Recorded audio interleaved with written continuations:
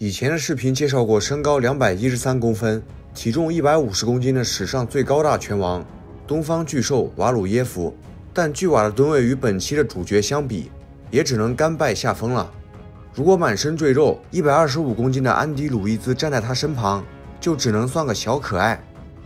本次的主人公就是大名鼎鼎的奶油豆 Eric Ash，他身高一百八十公分，体重却达到了史无前例的一百七十公斤。巅峰时更是超过一百九十公斤，远看他就像充满气的皮球。这种身高体重放在普通人身上，连行动都会不便，更别说当运动员了。可这位憨态可掬的大胖子一上拳台就化身野兽，凭借压倒性的体重优势，以残暴重拳摧毁对手。奶油豆生涯完成过高达九十一场职业比赛，取得了七十七胜四平一负的战绩。并在拳坛奋战到四十六岁，他的败绩也大多是在生涯末期遭遇。此外，这位强悍的胖子还在三十七岁高龄进军踢拳和综合格斗界，完成了七场踢拳比赛和二十八场 MMA 比赛。他的生涯超负荷进行了一百二十六场职业比赛，这个强度对于一个体重直逼四百磅的大胖子来说，简直无法想象。奶油豆还有一个绰号就是四回合之王。意思说他在四回合内有着秒杀一切的能力。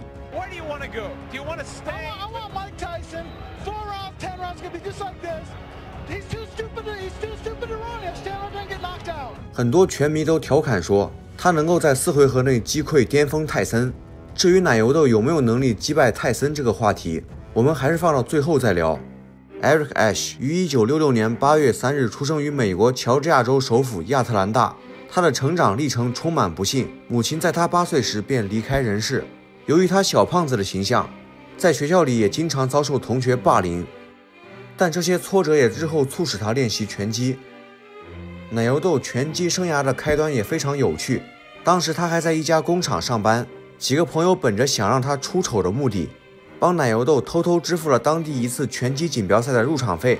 由于体重严重超标，为了达到四百磅的参赛体重限制。他不惜一切代价减肥，主要靠吃鸡肉和奶油豆。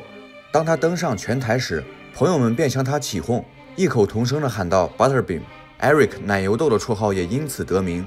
本想嘲笑他的几个朋友也万万没有想到，奶油豆竟获得了锦标赛冠军。他的拳击梦就是在这么一次偶然的经历下正式开始。一九九四年末，二十八岁的奶油豆正式开始了职业生涯。他的第二场比赛就进行了全美直播。当时可没有任何拳手拥有如此待遇，因为他夸张的形象早已被人们熟知。这场比赛，奶油豆的对手是满身肌肉的黑哥哥 Doc Norris，两人一开场就短兵相接，开始了互抡模式。奶油豆虽然身材极度臃肿，但勾拳却是异常凶猛，灵活度也相当了得，对手根本没有招架能力。在奶油豆左右勾拳的狂轰滥炸下，Norris 在第二回合就被揍得不省人事。毫发未伤的奶油豆，随后几乎是每个月完成两场比赛，基本都是凭借暴力勾拳解决战斗。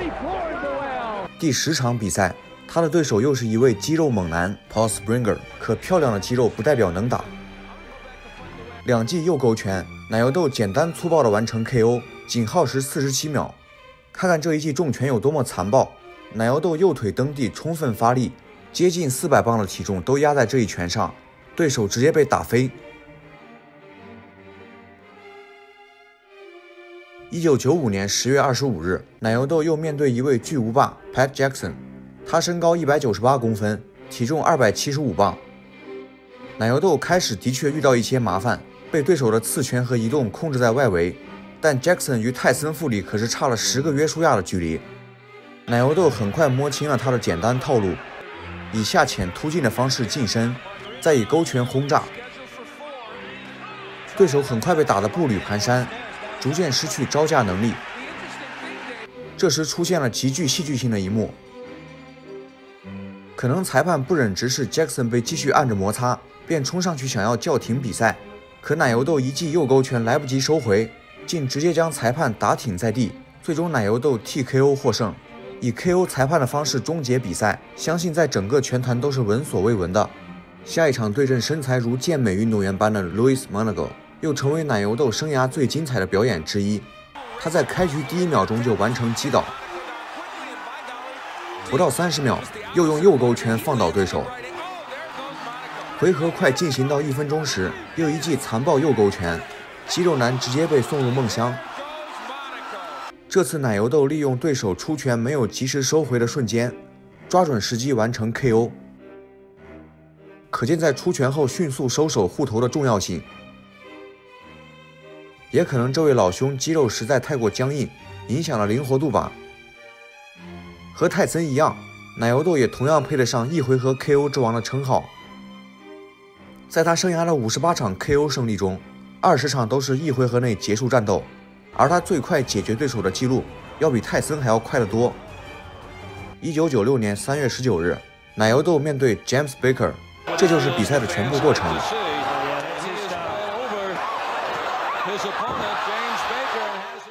手起刀落，十秒钟内对手就倒地不起。一个月后对阵 Richard Davis，又是简单粗暴的一回合 KO。奶油豆将对手逼至围绳，先下前躲过进攻后。立即右勾拳击腹，迫使对手双手完全放下，再向上一记强劲左勾拳。奶油豆的比赛就是这样直接暴力。同年十二月，奶油豆又赢得了一场标志性的一回合 KO 胜利，受害者是 Sean Jagan，三记勾拳拳拳致命。这段时间奶油豆的比赛密度极大，最夸张的时候一周就安排两场比赛，不得不感慨胖子的极限也是深不可测。也有可能是他完成比赛实在太过轻松，解决战斗也就是几十秒钟加几记勾拳。奶油豆在两年左右完成了三十场比赛，取得了二十九胜一负的辉煌战绩。凭借优异的表现，终于获得了人生第一次挑战拳王头衔的机会。一九九七年四月十二日，对手是 IBA 超重量级拳王 Ed White，此人也是位巨无霸，身高两百零一公分，臂展两百零六公分。体重二百六十磅，身材处于绝对优势。然而人高马大、体格壮硕的 White 显得十分笨拙，出拳也有些拖泥带水。反观奶油豆则是灵活自如，出拳爆发力十足，速率也更胜一筹。奶油豆的勾拳虎虎生威，完全不像是一个超过三百五十磅的胖子打出的。第二回合，被逼近围城的对手无路可逃。奶油豆一记右勾拳，黑大个被直接打挺在地，无法动弹。年满三十岁的奶油豆获得了 IBA 金腰带。尽管这条金腰带不属于四大拳击组织，但对于他自己来说可谓如获至宝。奶油豆接下来开始了捍卫金腰带的道路，他的卫冕之路也是一马平川，几乎没有任何挑战，用各种方式将对手揍得人仰马翻。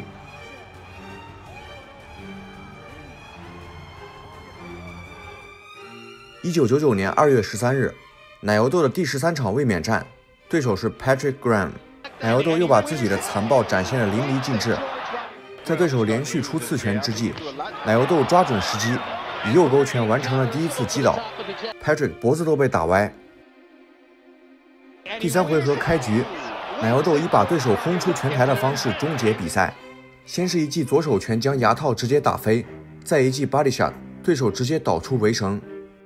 奶油豆另外的一场经典闪电战，要属于 George Limburger 的比赛，这是他第二十七场卫冕战，仅耗时十五秒。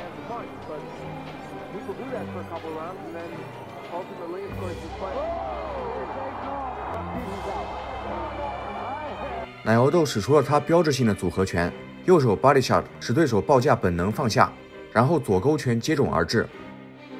奶油豆的最大梦想是摧毁泰森。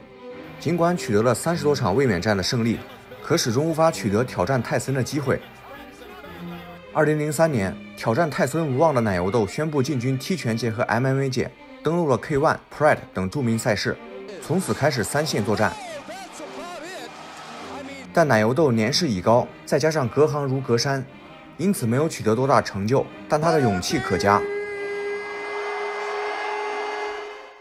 奶油豆直到二零一三年才从拳坛隐退。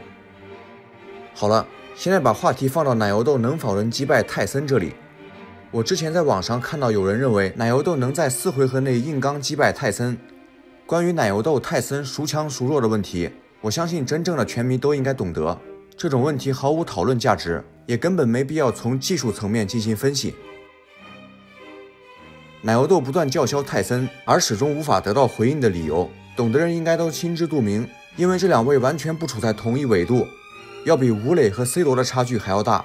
奶油豆之所以叫四回合之王，是因为他的体能只够支撑四回合，而他生涯的九十一场比赛中，只有三场超过四回合，其中唯一一场十回合比赛是对阵五十三岁高龄的前重量级拳王 Larry Holmes，结果还被老拳王全场控制，最终以点数落败。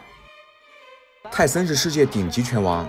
而奶油豆则是名连一场十二回合比赛都没有打过的拳手，所以他拿什么和泰森比较？随便一个重量级二流拳手就能够轻松吊打奶油豆。他的这种体型注定成为不了一线拳手，因为敏捷性和体能必然都会大打折扣，所以大胖子的战斗力上限不会有多高。虽然奶油豆是一位实力和名气严重不符的选手，但这丝毫不会影响我对他的敬佩。一位从小饱受欺凌和挫折的胖子。并没有忍气吞声向命运屈服，而是通过自己努力，实现了别人都认为是天方夜谭般的拳击梦，并使自己的名字家喻户晓，战斗力也足以吊打百分之九十九的肌肉猛男。这样的人生难道不是精彩无比吗？